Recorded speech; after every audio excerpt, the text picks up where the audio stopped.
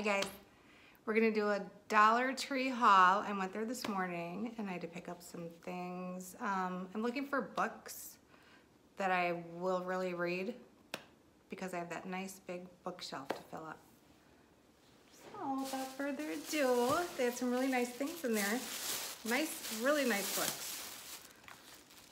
So this first one is called Raw Cake.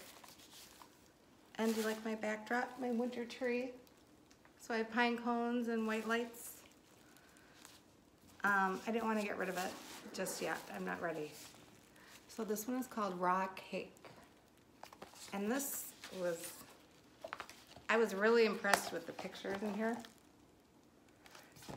And I'm on the keto diet, so they have like really healthy choices, keto recipes.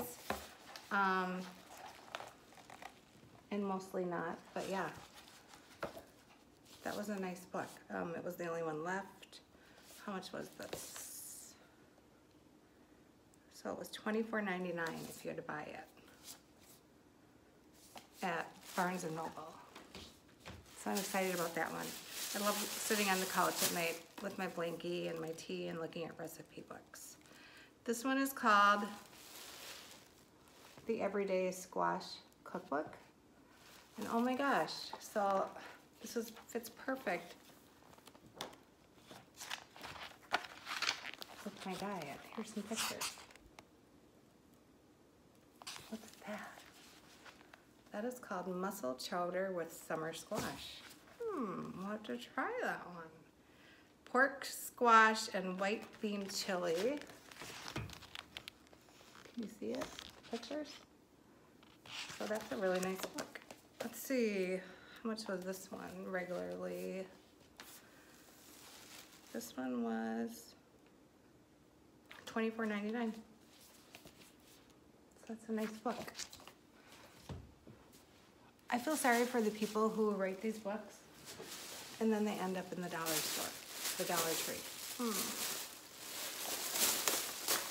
This is called Broth and Stock. So actually I would have bought this at full price because I am on that keto diet and it shows all kinds of different stocks you can make and healthy foods from the Nourished Kitchen. Jennifer McGruther. Sorry, Jennifer, I bought your book for a buck, but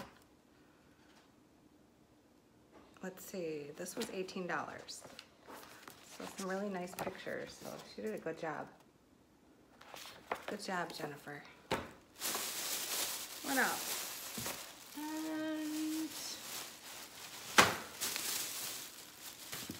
So here's another book.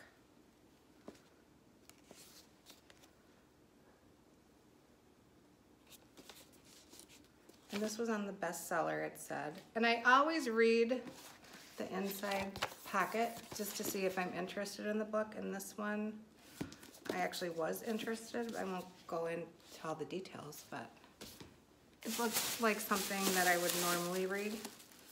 And this one called Cat Flap. And I think, if I understood it right,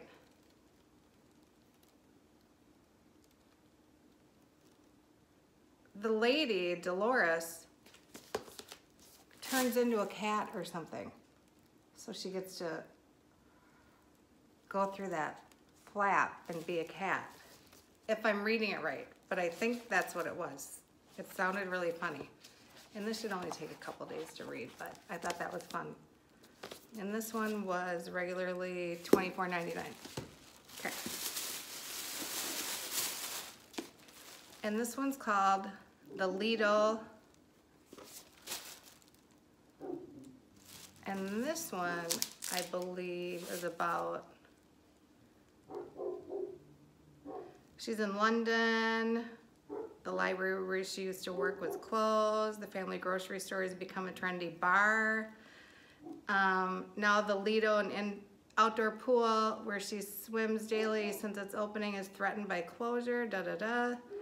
So that sounds fun. That sounds like a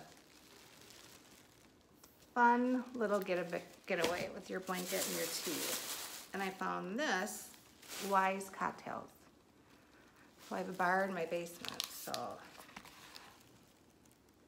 And it's cocktails that are healthier, if there is such a thing.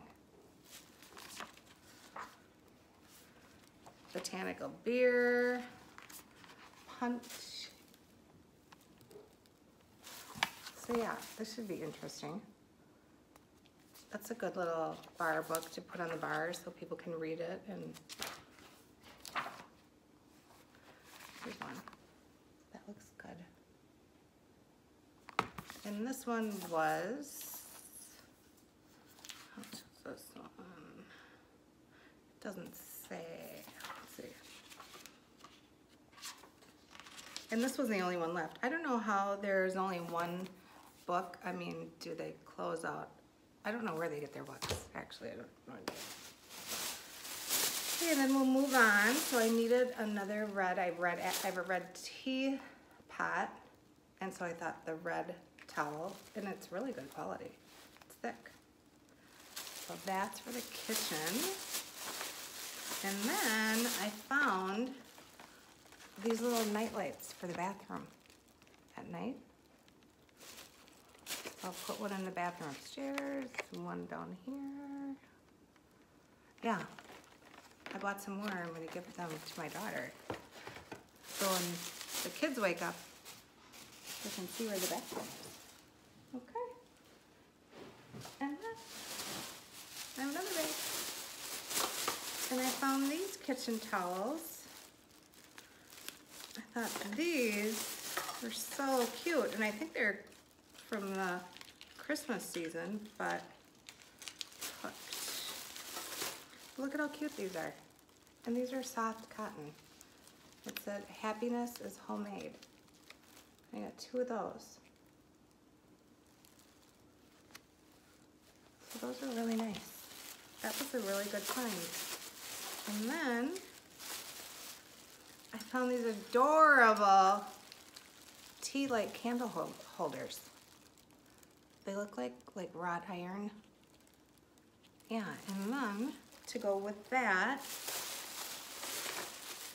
these little tea lights. So they're battery operated. They come with batteries. It says they hold a charge for 240 hours. See right there? Yeah, so that was a fun little find. I'll put those on my the wood stove mantle and then I found this candle. It's orchard and black currant made with essential oils.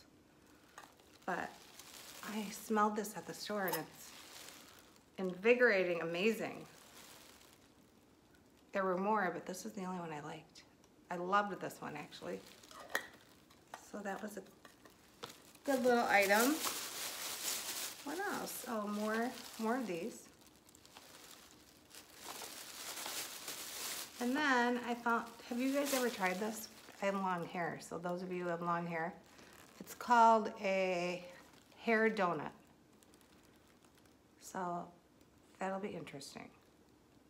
I like when I put a ponytail, I like up here. So I have height because I have a round face. I need the length. So hopefully that'll work. And then I saw this at Target before I went to the dollar store, and this was $3.99, the same size. So that's the Crest 3D White toothpaste, and this has 15% more, so that was a really good deal. And then I have more books too. Let me see if I can find them. Oh, they're over there. I'll be right back. I'll go get them.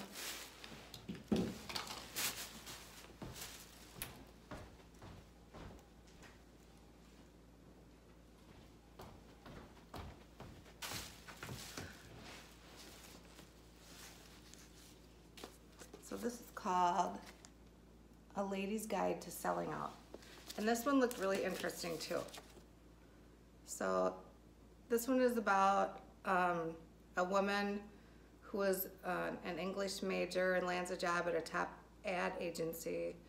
And then she loses her job and she has a hard to please boss and her assigns her a top secret campaign, blah, blah, blah. And when she falls in love with one of the authors, she can no longer ignore her own, nagging doubts about the human cost of her success, blah, blah, blah. So I thought, actually, I would enjoy reading this one. And I like the pretty bright pink cover. And I, I used to watch him on The Doctors, I believe. Remember him? He's good looking. Um, Eat Clean, Live Lean. So this is a, I love these books that give you like tips on healthy eating and living. They're fun to read. You always take something away from it. And then this was a cool book. Secret Keepers. So this was a, this I read this. This is about a man who found an old watch and then something about the watch was magical.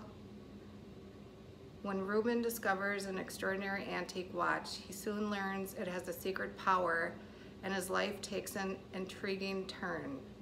So that's, that kind of reminds me of like Jumanji or something, but that's exciting. This was $24.99. And then this one is called Rainbow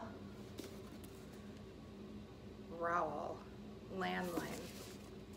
That's who the author is, I'm assuming. So this one, it's about a woman who knows that her marriage is in trouble, that it's been in trouble for a long time, and she still loves her husband, and her husband still loves her, but they're not on the same page. And then she finds a way to go back in time to communicate with her husband. So I thought that was interesting. That'll be fun to read too. And that's a bestseller. I mean, really, for a dollar? Oh. $24.99. And then this one, called The Locals. This one is about Mark is a contractor and home restorer in Howland, Massachusetts, who feels the opportunity passing his family by. After being swindled by a financial advisor, what future can Mark promise his wife, Karen, and their young daughter, Haley? He finds himself envying the wealthy weekenders in his community whose house sits empty all winter. So, he's, and then he invests, and it's it says, here are the dramas of 21st century America rising, inequality, working class decline, and new authoritism played out in the classic setting of some of our greatest novels. The small town, the locals, is that rare work, work of fiction capable of capturing a fraught American moment in real time. So that sounds really good to me. Okay, the last one the Misfortune of Marion Palm. So this one, it says, a wildly entertaining debut about a Brooklyn Heights wife and mother who has embezzled a small fortune from her children's private school and makes a run for it. Leaving behind her trust fund poet husband, his maybe secret lover, her two daughters, and a school board that will do anything to find her. Oh my gosh. So that reminds me of that woman who was in prison for doing the, I think she's out now. I forgot her name. You know, um,